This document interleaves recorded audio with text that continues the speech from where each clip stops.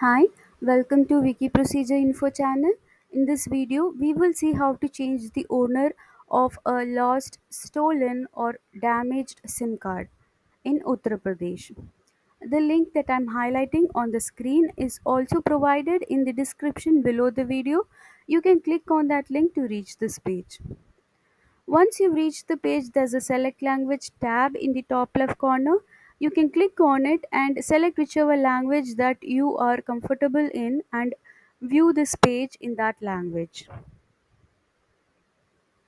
If your SIM card is either lost, stolen, or damaged, you need to approach the nearest mobile service provider and request them to block the SIM card. You need to do that as soon as possible in order to avoid any unauthorized usage of your mobile number. To block the SIM card, you need to follow the instructions given to you by the service provider and after blocking the SIM card, you can request for a new SIM card with the same mobile number. For that, you will have to pay the prescribed fee and also submit the documents that are mentioned over here. You need to show a proof of identity for which you can use your birth certificate, your PAN, or your Aadhaar card.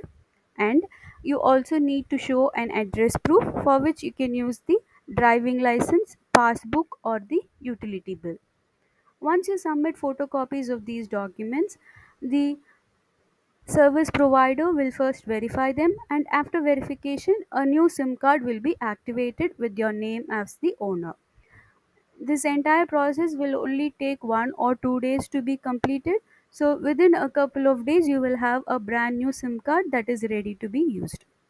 And that brings us to the end of the video. If you like the video, please click on the subscribe button. Thank you.